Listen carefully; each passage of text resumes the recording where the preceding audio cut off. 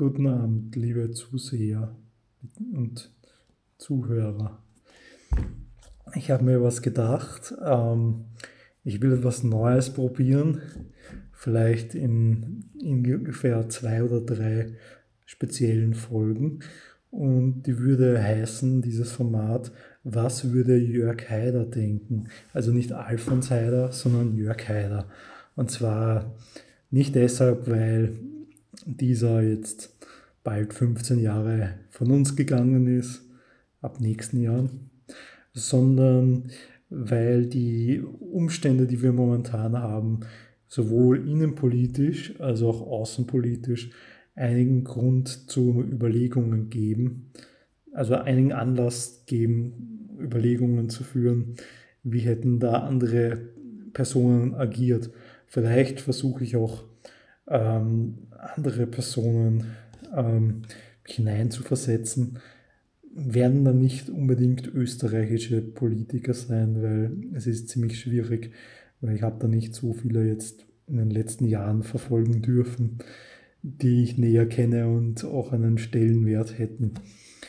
Also, was ursprünglich war, ist, ich wollte eigentlich mit jemand anderen eine Art Interview machen oder sozusagen Dialog über das Russland-Thema und auch über die Bundespräsidentschaftswahl. Also Russland-Ukraine-Thema und Bundespräsidentschaftswahl. Dann habe ich mir aber gedacht, das ist nicht gut genug. Ich werde es hochladen, wenn es euch interessiert. Es ist aber nicht gut genug, dass er dann jetzt wirklich großartig euer Interesse trifft, weil euer Interesse ist doch schon einiges mehr als nur das. Also eine kleine Blanche oder sowas, sondern etwas, was mehr tiefgründig ist und ähm, ja auch eine Art Unterhaltungswert auch hat und nicht zu trocken ist und zu abgelesen wirkt, als ob man sich gerade noch ein bisschen Mühe gegeben hätte. Ähm, bekanntlich, ja, also bekannt ist jetzt, also wir haben jetzt diese Situation in Europa, besser gesagt eigentlich auch Eurasien könnte man sagen, dass seit letzten, also seit Februar eine Art Kriegszustand herrscht zwischen Ukraine und Russland. Das, dem vorangegangen ist die Geschichte 2014 wo es den Maidan gab. Also wenn ich da zu weit zurückhole, werden wir noch sehr lange da sitzen, bis wir irgendwo sind. Jedenfalls beginnen würde ich bei 2013 und da war die Situation die, dass in der Ukraine ein gewisser Janukowitsch war, der überlegen musste, näher ich mich mehr der EU an oder gehe ich mit meinem Land, die Ukraine, weiter zurück und knüpfe an sowjetische Zeiten an, weil wirtschaftlich war es notwendig, eine Wahl zu treffen. Nur hat er ein bisschen zu sehr hoch gepokert und dann beispielsweise war eine Forderung von der EU für ein Assoziierungsabkommen die Freilassung von einer politischen Gegnerin von ihm, Julia Timoschenko. Und ja, Timoschenko ist kein unbeschriebenes Blatt und diese Geschichten, dass Russland Gas an die EU liefert und die Ukraine was anzapft oder dass nichts ankam, ist nicht wirklich so neu. Nur ich denke, also damit wir jetzt nicht zu sehr in die Ukraine-Russland-Thematik gehen, Jörg Haider hätte da sich auch ausgekannt, was das angeht. Selbst dann, wenn er jetzt nicht diese Thematik so lang verfolgt hätte, also die fünf Jahre nach seinem Tod, weil genug ist auch schon bekannt gewesen, ähm, bis zu dem Jahr 2008 hin, dass es diese Probleme gab. Wir hatten auch zum Beispiel hohe Gas, also hohe Spritpreise beispielsweise in Österreich um das Jahr 2008 herum. Und da hat er eine Art Teuerungsbremse und gegen Teuerung sich stark gemacht. Also ich würde sagen, wenn, wir, wenn Jörg Haider ein, ein Kandidat beispielsweise für die Bundespräsidentenwahl wäre, würde er genau all diese Themen, die er damals aufgegriffen hatte, auch wieder aufgreifen können. Und es würde gar nicht einmal alt wirken, weil es wäre immer noch ein aktuelles Thema, es wäre immer noch am Puls der Zeit. Genau.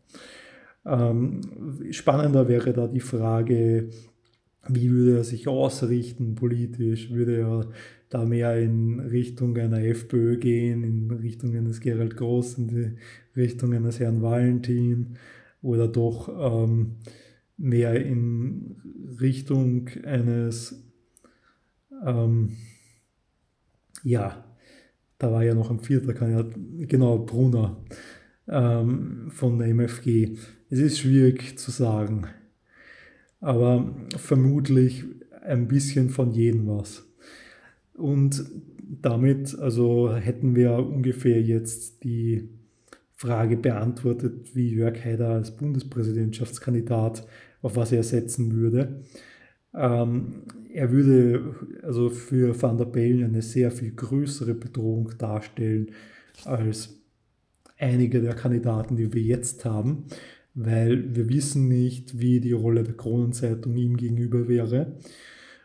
Und äh, nehmen wir mal an, er wäre, er hätte sich aus der Politik einfach zurückgezogen 2008 und wäre nicht mehr im BZÖ aktiv gewesen oder wäre relativ bald nach der Hypo-Sache ausgestiegen. Er wäre zwar wegen der Hypo-Geschichte kein unbeschriebenes Blatt gewesen, aber er hätte können das sicher entkräften, entkräften und hätte können auf jeden Fall sich zurückziehen können aus dieser Sache definitiv.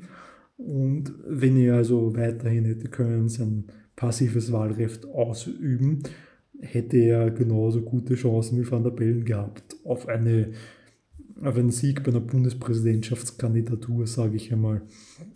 Ähm, was noch gewesen wäre, wäre, er hätte definitiv die Situation im Russland- und der Ukraine-Krieg aufgegriffen, thematisch. Er hätte das nicht liegen lassen, weil es hätte ihm auch viel Spielraum geboten, sich in Szene zu setzen. Wir wissen, er war auch bei Saddam Hussein beispielsweise zu Gast, obwohl der eine Persona non grata war. Und von George Bush beispielsweise als Teil der Achse des Bösen bezeichnet wurde. Und äh, ja, er hätte da sicher unpopuläre Positionen auch eingenommen, aber auch Positionen, die teilweise auch im Ausland beispielsweise von Sarah Wagenknecht in Deutschland, von, den, von der linken Partei, ähm, thematisiert werden. Was er jetzt genau gemacht hätte anders oder ob er hätte eine Volksabstimmung gefordert, dass wir keine Waffen liefern, keine Sanktionen machen, kann ich jetzt nicht im Detail sagen, weil so gut kenne ich ihn auch wieder nicht. Aber er hätte da versucht, sich hineinzufühlen, wie die Österreicher empfinden, was ihnen wichtig ist und diese Themen versucht populär an den Mann zu bringen. Beziehungsweise hätte er wahrscheinlich auch versucht, ähm, die Sichtweise von Frauen, dass die oft in Armut leben oder in der Pension nicht viel Geld haben, ähm, aufzugreifen und da einen Nerv, den Finger in die Wunde zu legen und da also auch positives Angebot zu machen an den weiblichen Wähler. Das ist also, was ich glaube zur Bundespräsidentschaftswahl, was hätte er machen können, wenn er, also in Bezug auf Russland und die Ukraine, naja, er hätte können sagen, versuchen wir beispielsweise wie Serbien eine andere Rolle einzunehmen und neutral zu sein in Bezug auf diese Kriegsrhetorik, die da herrscht teilweise. Wahrscheinlich hätte er Politiker, die da zu sehr über die Stränge schlagen in Österreich und die Neutralität nicht einhalten, stark attackiert, weil man hat das gesehen, dass es ähm, gegeben hat, ein Bestreben, dass der Schilling da bleibt. Ähm, es wurde, man hat sich ein, er hat sich eingesetzt gegen AKWs, da sehr erfolgreich sogar. Was wir nicht wissen natürlich, ähm, was seine Position gewesen wäre, vielleicht zu Bundesheer und so. Ähm, ja, es ist sehr schwierig, das einzuschätzen, aber ein sehr interessantes Thema und eine sehr interessante Fragestellung. Aber mit anderen Worten, es wäre sicher auch eine Herausforderung gewesen, für Van der Pellen gegen ihn als Herausforderer anzutreten. Doch wir hätten da, ich glaube, wir hätten, der ORF hätte nicht können sagen, wir keiner laden wir nicht und äh, Van Bellen weigert sich der Diskussion mit einem Dr. Jörg Haider. Das wäre definitiv nicht so möglich gewesen. Das wäre, also, er wäre damit nicht durchgekommen, sagen wir mal. Das wäre, er würde jetzt definitiv noch schlechter dastehen. Aber ja, vieles ist im Bereich der Spekulationen und wir können auch nicht sagen, welche Auswirkungen das von anderen Parteien hätte, ob die auch Kandidaten nominiert hätten, wenn Haider der Herausforderer gewesen wäre oder auch nicht. Es ist sehr schwierig, das einzuschätzen, sehr komplex. Doch also er wäre durchaus für diese Zeit, für diese unangenehme Zeit, in der wir leben, wo über Energiesparmaßnahmen geredet wird, wo über Krieg geredet wird, wo über die Freistellung von NATO-Beitritten geredet wird. Ähm, ja, eine Person gewesen, die auch ein, ein Felsen Brandung gewesen wäre, würde ich sagen, weil man sich darauf verlassen hätte können, dass er da die, die österreichische Position ähm, stärker, eine stärkere Stimme verliehen hätte, als wie das jetzt der Fall ist, wo Österreich eher dann das macht, was Deutschland auch macht. Ich denke, da hätte es auch Kritik gegeben von Haider, dass wieder Deutschland auftritt momentan. Und natürlich auch wie viele der Kandidaten aus dem eher mitte-rechten Spektrum eine Art Solidarisierungsversuch mit Viktor Orban beispielsweise, der da ja auch nicht ganz alle Vorgangsweisen gegen Putin teilt, obwohl er den Visegrad-Staaten zuzuordnen ist, wo beispielsweise eher Polen beispielsweise eher Putin kritisch ist, ja. Aber Orban vertritt eine eigene Linie und mm, ich glaube, das ist auch etwas, was ähm, Jörg Haider versucht hätte, ja. Ja, und im nächsten Teil werden wir, werde ich überlegen, wo wir noch da können, also wie andere Politiker oder Jörg Haider eingreifen, also einbringen, implementieren in Überlegungen, beispielsweise vielleicht, wie wäre das gewesen bei der Volksbefragung zur Bundespräsidentenwahl? Oder hätte er, ähm, wie hätte er über Ibiza geredet, ähm, hätte er gesagt, also hätte er Sebastian Kurz unterstützt, wenn er, wenn Sebastian Kurz eine eine überparteiliche Plattform gemacht hätte und nicht eine ÖVP-Partei?